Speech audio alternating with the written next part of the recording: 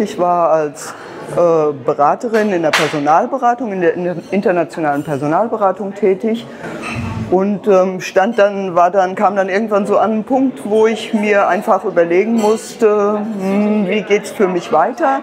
Die Tätigkeit, die ich vorher hatte, war mit sehr viel Unterwegssein verbunden und das ließ sich dann irgendwann nicht mehr so gut mit Familie unter einen Hut bringen.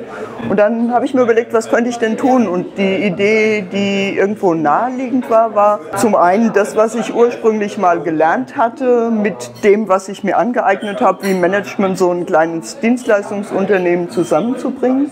Ganz schnell war dann auch für mich klar, ich möchte das nicht so auf eigene Faust machen, sondern ich möchte mich gerne einem System anschließen, damit ich mich nicht nur so im eigenen Saft schmore, sondern auch den Austausch habe mit Kolleginnen und Kollegen. Und die Entscheidung für den Studienkreis ist dann relativ schnell gefallen, nachdem ich mir mehrere Systeme angeguckt habe.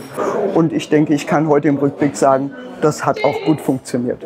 Ja, also für mich ähm, war es einfach so, ich wollte eigentlich ursprünglich Lehramt studieren, bin dann ähm, über eine Auslandsstelle in der Touristik gelandet und dort geblieben, jetzt für 17 Jahre und habe aber durch unsere Überlegungen bezüglich der Franchise-Geschichte in Richtung Nachhilfe so an dem alten Traum anknüpfen wollen und somit sind wir dann echt beim Studienkreis gelandet.